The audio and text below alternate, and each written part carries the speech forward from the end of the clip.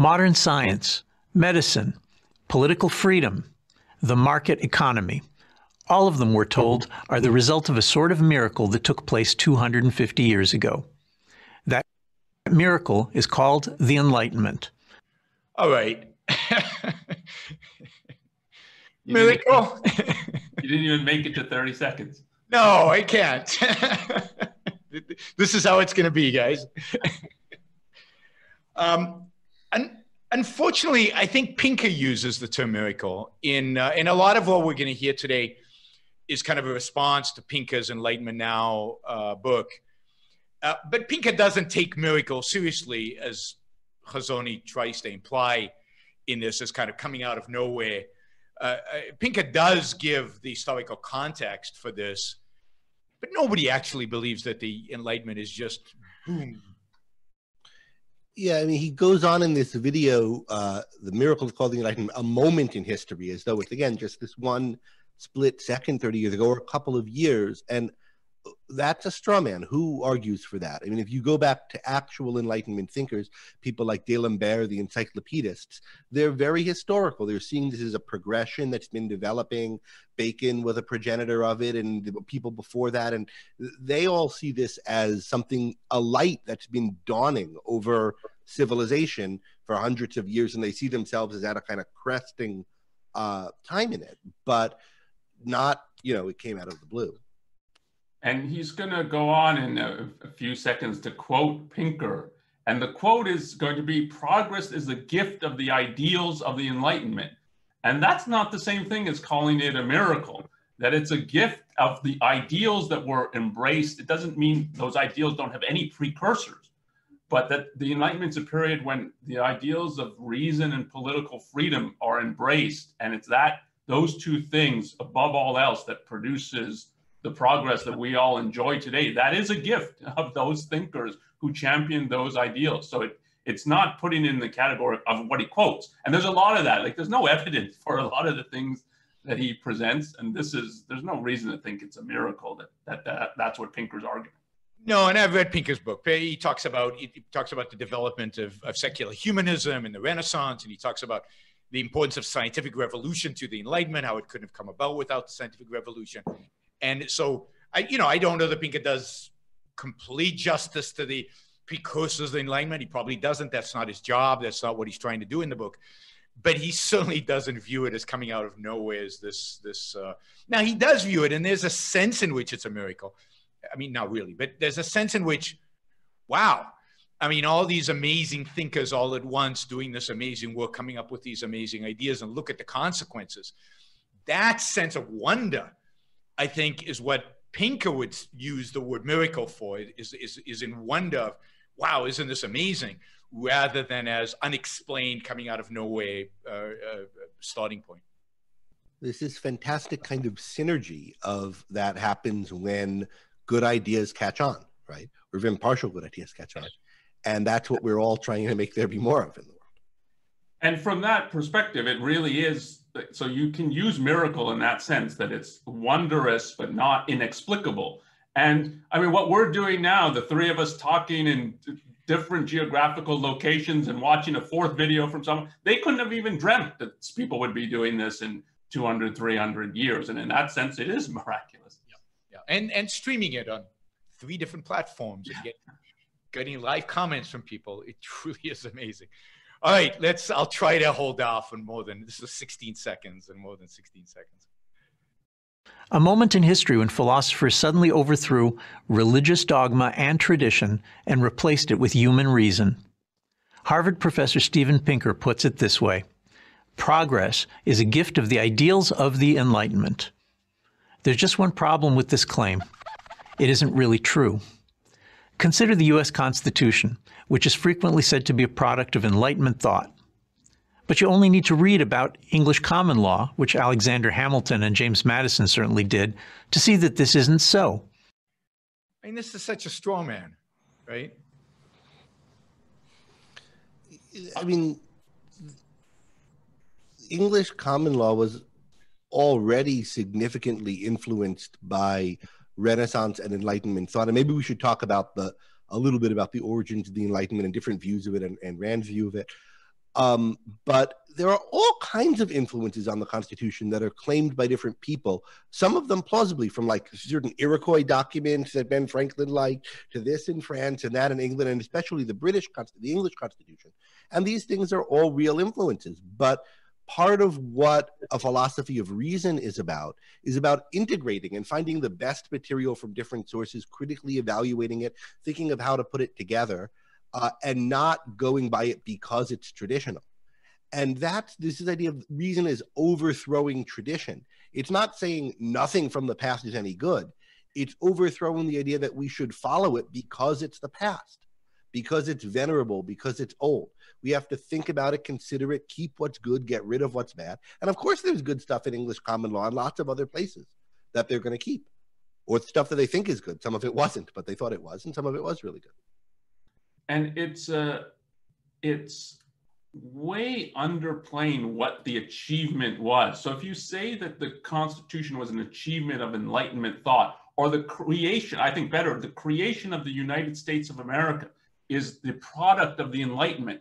It's the creation of a new country. It's not just thinking, you know, it would be better if we had a government that had a little more checks and balances, not this absolute power. It's, and this goes back to Pinker as putting it as an ideal they're thinking of it as this is what we're striving for, and this is what we're going to work in action to create, and having a whole vision for that, and then taking all the steps to create the actual country. That's the achievement. And you don't get that in any other era, and nothing similar to it. That we're going to rethink government from the ground up and create a new government based on these principles that we've articulated. And they never claimed we've come up with every principle that's embedded in this but it's rather we've done something that is unprecedented and that they're right. And it's such a breaking with tradition. So the idea that what they're doing is looking back and oh, other people used to do that, so that's what we're going to do.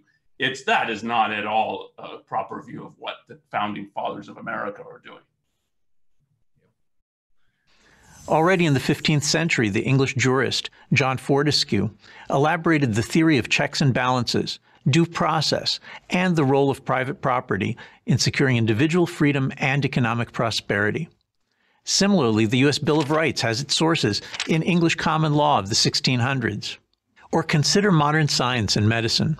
Long before the Enlightenment, tradition-bound English kings sponsored path-breaking scientific institutions, such as the Royal College of Physicians, founded in 1518, and the Royal Society of London, founded in 1660.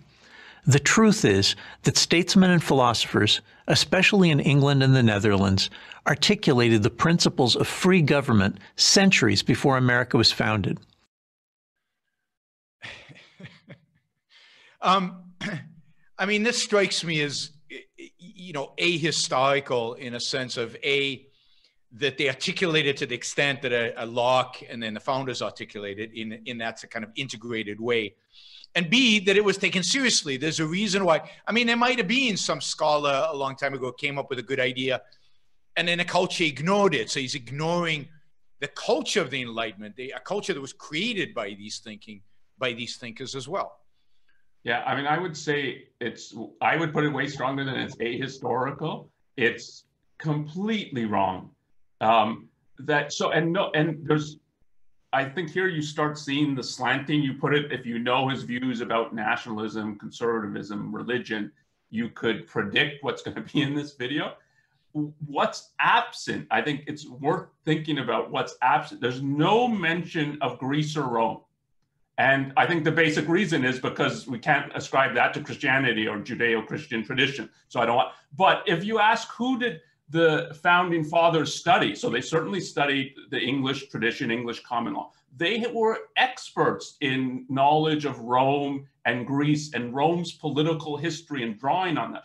And that's a far greater achievement than anything in the medieval period, if we're thinking politically. And they knew that, and that was their view. So to so, and this is the, the issue that obviously this had precursors. The founding fathers were students of history and they said they took all kinds of lessons from history, positive and negative, but it's fashioning it now into a new ideal of political freedom and of rights that you get really with Locke as articulating it as a full ideal and that government should be based on this. And that's what they're trying to put into practice. Um, so it has a history, but it also has many novelties. Um, and that's what the Enlightenment political achievement is. And also, what are we contrasting the Enlightenment with? If we're saying, oh, there was this stuff in 1600, like the Royal Society is the contrast, which is a clear precursor to it. So the, the, the, Enlightenment is part of a process, and it's seen by the Enlightenment intellectual, again, by the people who are later in this period and reflecting on what it is. And the, the, the obvious touchstone here is the encyclopedists, and particularly D'Alembert, who's writing about how this thing developed. And it there was a dark ages. There was a period where people were ignorant, they didn't know anything. There had been Rome and Greece and, and a flowering of learning, and all of that was thrown away by um, Hazony's ilk, these religionist uh, anti-intellectual bastards, right?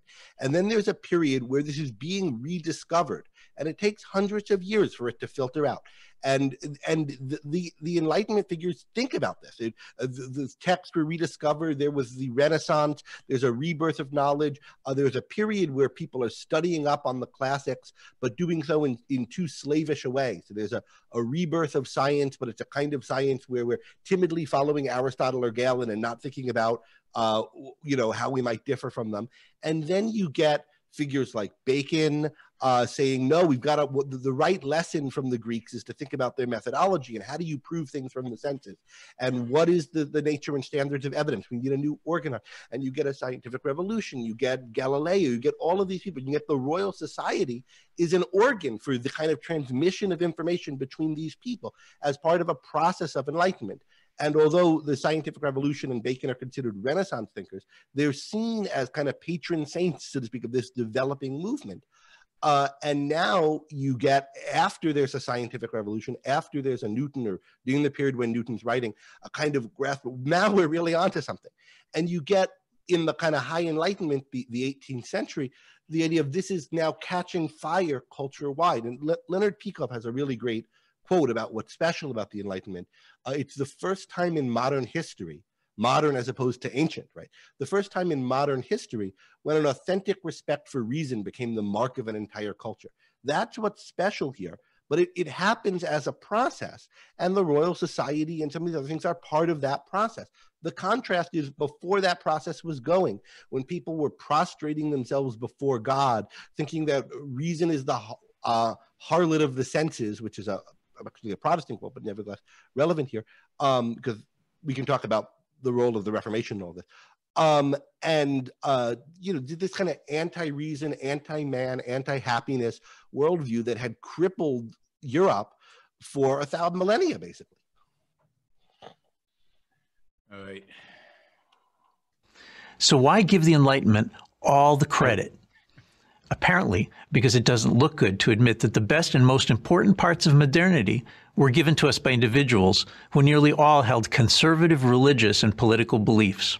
So here's the cash in, right? This is this is the goal ultimately is to bolster the idea that that all the good stuff ultimately comes from religion and and, and tradition Right? and religionists, people who are going to tinker just a little bit on the margins and would never pledge their life, uh, fortune, and sacred honor to the cause of defeating the most powerful government in the world. Yeah.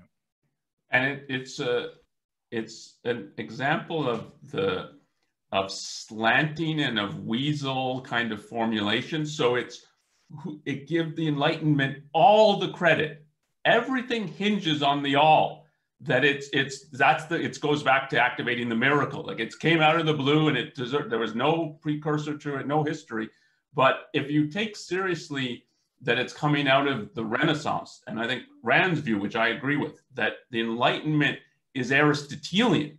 So if you think of the great battle in philosophy between plato and aristotle christianity was when plato is dominant. And from the renaissance on it's aristotle is coming back on the scene. And even though the many of the Enlightenment figures, because Aristotle was sort of um, incorporated into the church, saw themselves as rebelling against it. It's in the deepest sense in their methodology and in the non-skepticism that so that you can both use your senses and your mind and you have to use both if what you really as after is knowledge which is what the Enlightenment is about, that is all Aristotelian. And so the idea that it just it's all, um, as he puts it, all the credit belongs to the Enlightenment. That nobody, I think, no real student of the Enlightenment thinks that.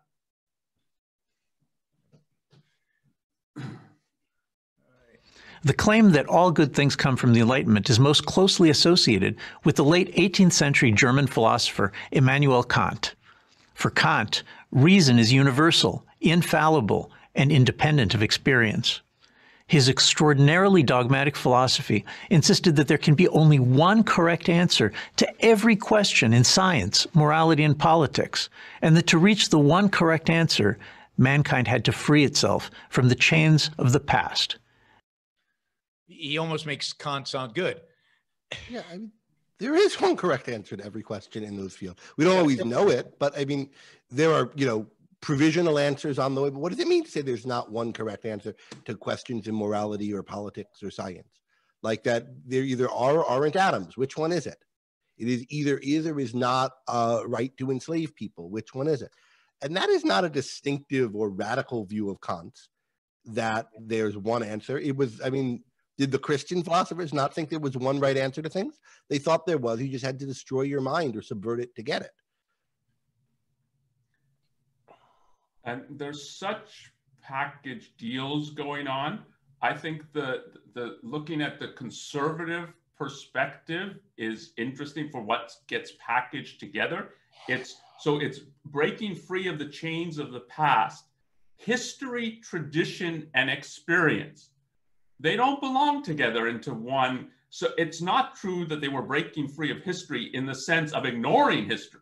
Um, as we've talked about, there it's incredible study of history to learn positive and negative lessons, and not to repeat the negative. And in that sense, there is no worship of tradition. They're interested in history, not traditions. They're, and to learn from history what you can learn, positive and negative. And then experience is um, it, he's going to go on to the view that I mean, this is part of what why the Enlightenment is incomplete or it's just a partial success.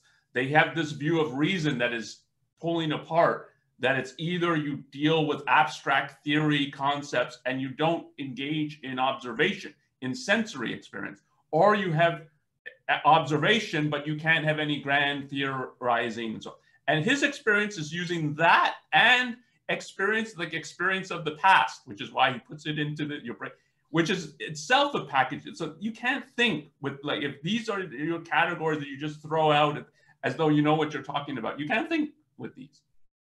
Now, is it even true with regard to Kant that he said all good things came from the Enlightenment and that he abandoned, he, he rejected tradition? it's not true that he, I don't know any time place he said all good things come from the Enlightenment. I don't know every word the guy wrote, but yeah. I can't imagine him saying that.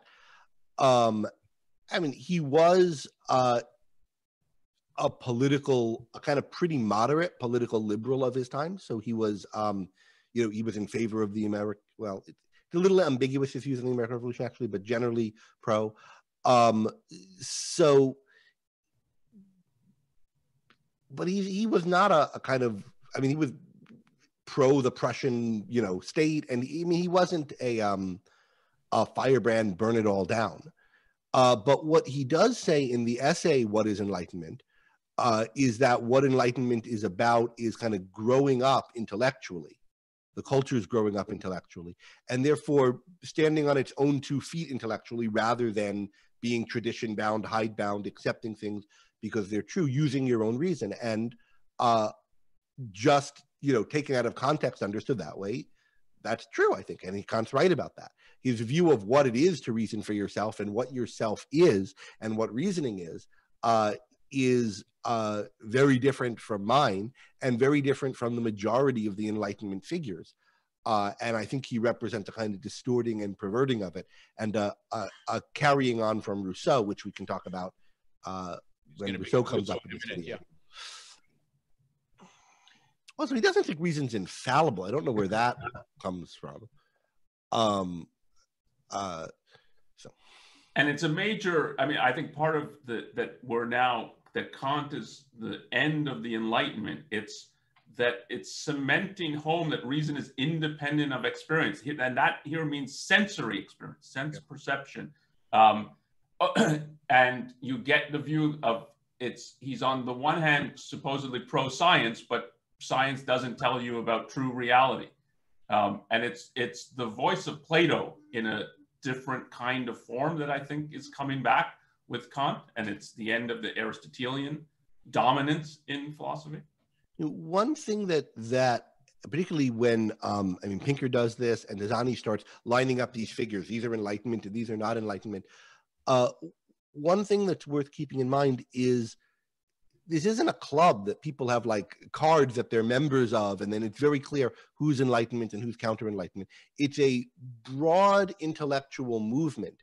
It's the fact that people are becoming educated and thinking and debating ideas on this implicit premise of the centrality of reason.